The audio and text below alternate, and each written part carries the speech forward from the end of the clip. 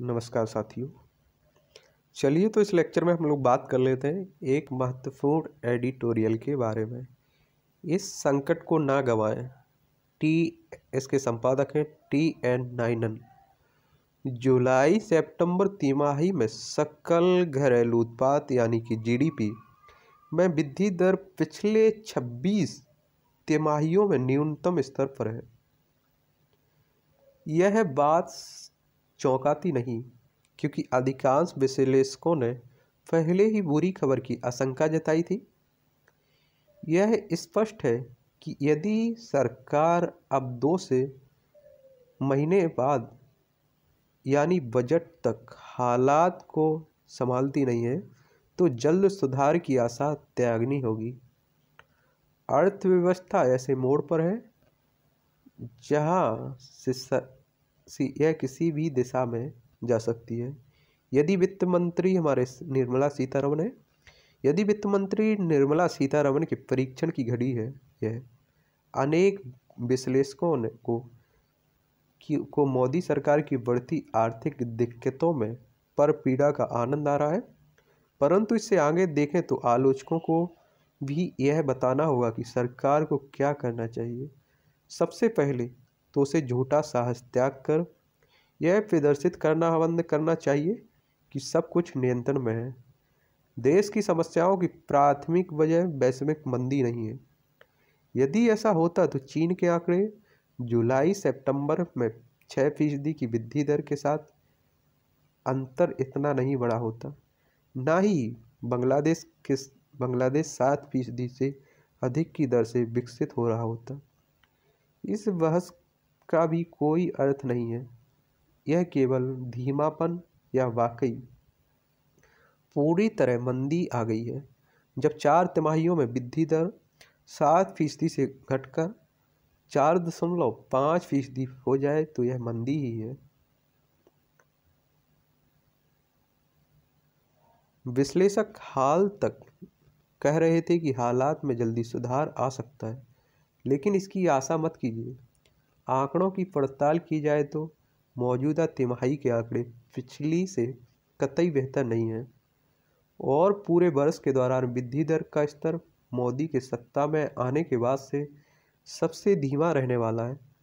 याद रहे कि वह दो अंकों की वृद्धि और अच्छे दिन के वादे के साथ सत्ता में आए थे मोदी।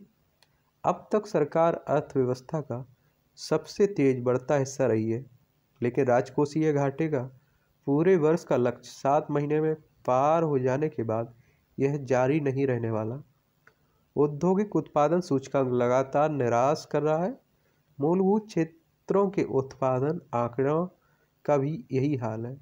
बिजली खपत कम हुई है। डीजल खपत का भी यही हाल है। व्यापक, व्यापारिक आंकड़े गिर रहे हैं और विनिर्माण या तो स्थिर है या गिर रहा है। खपत या औद्योगिक मोर्चे पर कोई अच्छी खबर नहीं है।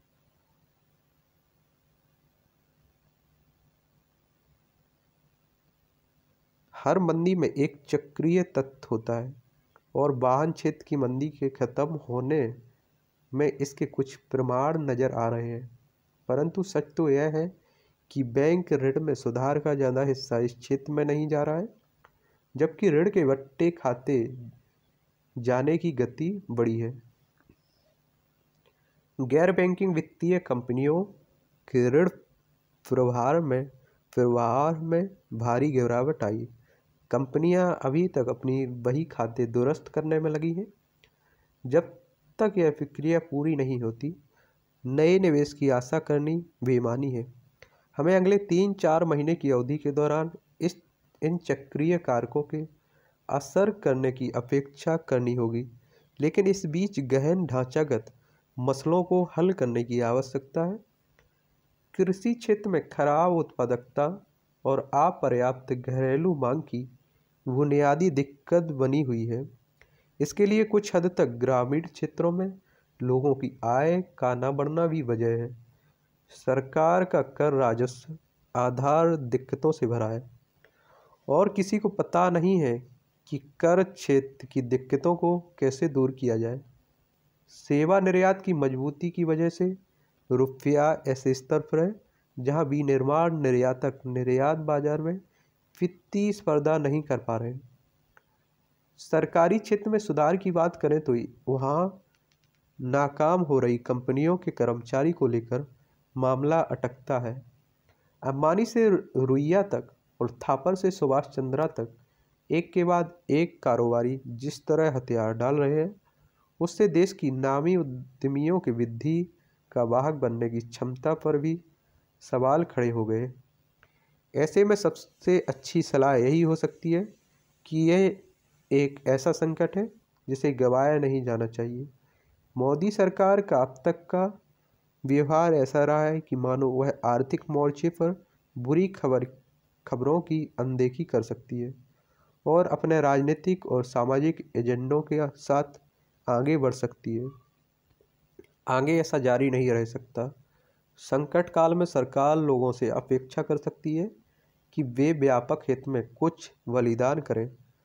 कुछ नहीं करने का खतरा यह है कि छः फ़ीसदी या उससे कम वृद्धि दर अस्वीकार होने के बजाय मानक बन जाती है। चलिए मित्रों तो ये था हमारा आर्थिक मंदी से संबंधित आर्टिकल